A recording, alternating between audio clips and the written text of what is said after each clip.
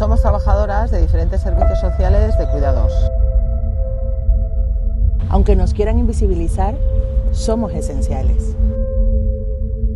Llevamos años movilizándonos por mejorar nuestras condiciones laborales, seguimos y seguiremos en ello para mejorarlas.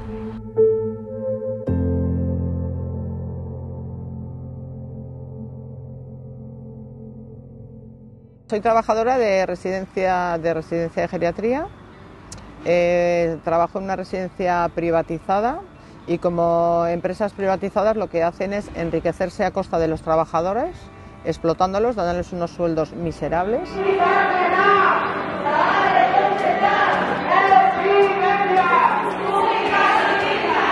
Hoy en día se vende mucho en las residencias eh, la atención central personalizada lo que hace que eh, no se pueda llevar a cabo porque tenemos unos ratios muy bajos, no pudiendo dando la calidad que ellos eh, realmente necesitan que se les dé. Y esto está produciendo mucho estrés laboral.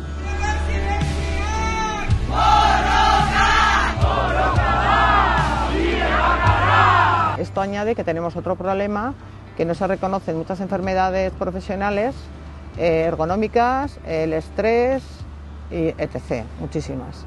Entonces, eh, otro problema que hay dentro de, esta, de las residencias es que tenemos eh, los convenios bloqueados por la patronal. Soy trabajadora del sector de intervención social y esta privatización nos condena a que tengamos unos salarios que no se corresponden con el dinero que el Gobierno de Navarra da a estas empresas para el sector a que los compañeros y compañeras eh, tengan consecuencias a nivel psicosocial por estrés, por agresiones.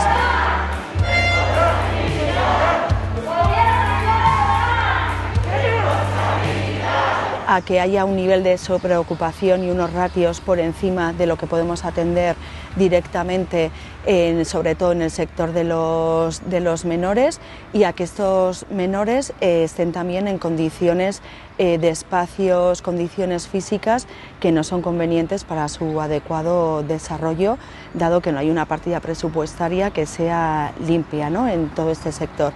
Y por otra parte, la poca transparencia que hay desde las empresas privadas en todo el tema de gestión económica, de comunicación con los trabajadores y trabajadoras.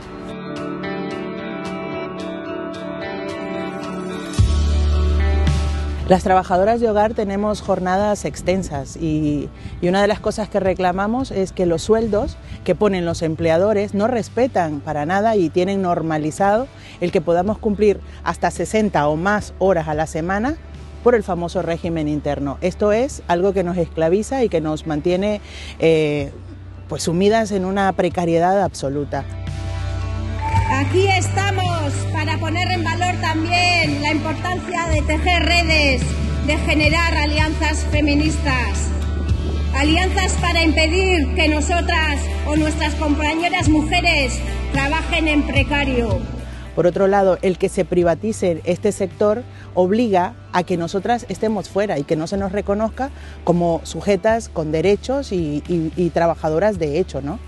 Y por otro lado, eh, está ligado nuestras condiciones de trabajo a, una, a leyes eh, deshumanizadoras como es la ley de extranjería, que obliga a trabajar tres o más años sin reconocimiento, sin cotización y sin ninguna eh, ley que pueda respaldar nuestra vida, porque eso es algo de lo que estamos afectadas. La ley de extranjería nos obliga a trabajar sin un reconocimiento, pero por otro lado, a que no nos vean eh, la productividad o la parte esencial que tiene nuestro servicio.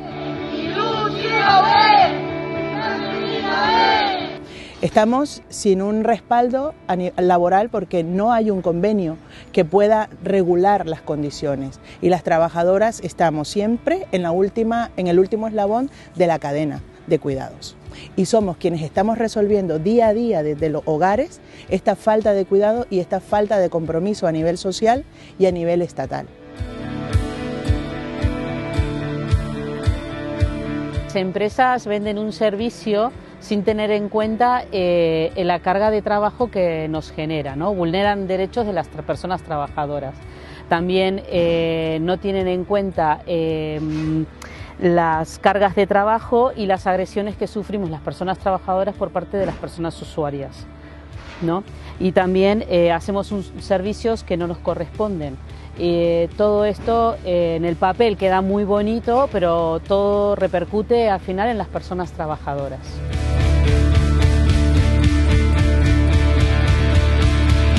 Langile batzuen aitortza entzun dugu eta alako milaka eta milaka entzun ditzazkegu Euskal Herrian. Instituzioek guztiona den diru publikoa enpresa pribatuen esku usten dituzte inongo kontrolik eta bermeri gabe. Argi daukagu, zaintza langileak, langile publikoak direla eta instituzioi kudeak eta zuzena exigitzen diegu. Zaintza eskubidearen aldeko errekonozimendua borrokatuko dugu, bai langileen eta erabiltzaileen duintasuna erdigunean jarriz. Labek argi dauka, zaintza zerbitzu sozialen langileak publikoak direla eta hildo mobilizatzaile berri bat irekiko du datozen urteetarako. Aliantza ezberdinak eraikiz eragile sozial, politiko, feminista eta sindikalekin.